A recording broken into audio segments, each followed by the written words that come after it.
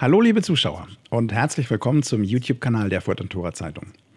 Fuerteventura ist berühmt für seine Strände und so kennt fast jeder die Playas de Sotavento und die Playas de Jandía im Süden oder die Grandes Playas bei Coalejo im Norden. Doch abseits der großen bekannten Strände gibt es auch die, an die sich kaum je ein Tourist verirrt. Diese Strände sind oft menschenleer, vor allem im Winter, wenn es den Einheimischen am Meer viel zu kalt ist. Und so kann man an diesen Stellen noch etwas spüren von den alten Zeiten, als Fuerteventura noch nahezu unberührt war vom Pauschaltourismus. Vielerorts findet man auf Fuerteventura immer noch die Einsamkeit und Ruhe, die heutzutage so unglaublich selten und dadurch so wertvoll geworden ist.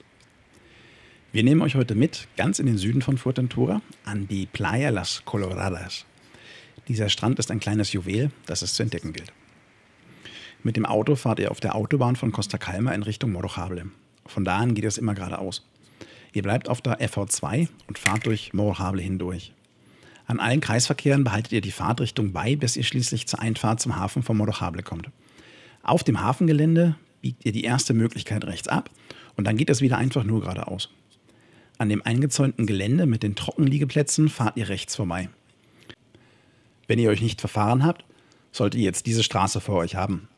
Jetzt noch gut 300 Meter und ihr habt euer Ziel erreicht. Ihr könnt euer Auto an dem kleinen Parkplatz abstellen und von hier aus geht das dann zu Fuß weiter. Selbst an dieser Stelle erahnt man noch nicht, was einen gleich erwartet. Vor euch liegt die Playa Las Coloradas mit einer Länge von rund 670 Metern und einer Breite zwischen 20 und 35 Metern. Zwar sind hin und wieder ein paar Felsen im Wasser, aber der Strand ist größtenteils feinsandig und deshalb trotzdem zum Baden gut geeignet. Wenn ihr eine Schnorchelausrüstung habt, solltet ihr die mitnehmen, denn bei den Felsen und an der nahegelegenen Hafenmauer kann man viele Tiere entdecken. Vor einem Besuch der Playa Las Coloradas lohnt sich ein Blick in die Gezeitentabelle. Denn bei Hochwasser bleibt nicht viel von dem Strand übrig.